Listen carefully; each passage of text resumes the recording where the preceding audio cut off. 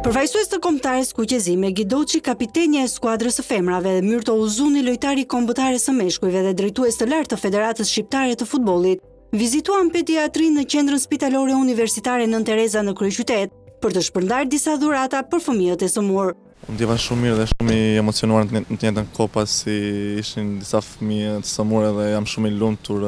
të cilët i ndihmuam me ca dhurata në në prag festash edhe i uroj gjithë shqiptarëve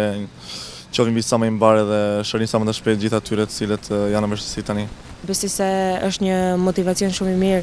i federatës që dëshiron edhe për shkak të festave